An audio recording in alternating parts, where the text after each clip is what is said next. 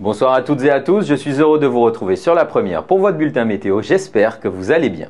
Passons tout de suite à l'animation satellite de ce soir. Le ciel est bien dégagé sur les petites Antilles, on aperçoit quelques nuages d'altitude inoffensifs sur la Guadeloupe, mais rien de spécial à signaler pour nous.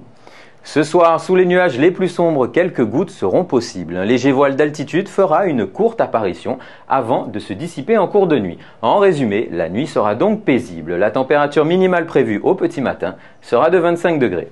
Demain, dès son lever, le soleil est de mise pour la journée, même si de faibles pluies seront possibles. La température maximale prévue sera de 33 degrés. Le vent de secteur est à sud-est reste faible à modéré et souffle en moyenne entre 10 et 30 km heure. La mer est peu agitée à agitée en Atlantique et dans les canaux avec des creux d'un mètre vingt à un mètre quarante dans une houle d'est. En Caraïbes ici, elle est belle à peu agitée au rivage et peu agitée au large avec des creux moyens de 80 cm. La marée haute demain est prévue à minuit 46 et la marée basse à 18h06 et 9h03.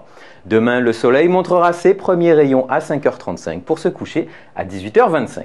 Voyons les tendances pour les prochains jours. Vendredi, la matinée sera encore émaillée d'averses soutenues qui seront plus intenses sur le relief. L'activité pluvieuse va diminuer l'après-midi, les éclaircies seront donc plus importantes.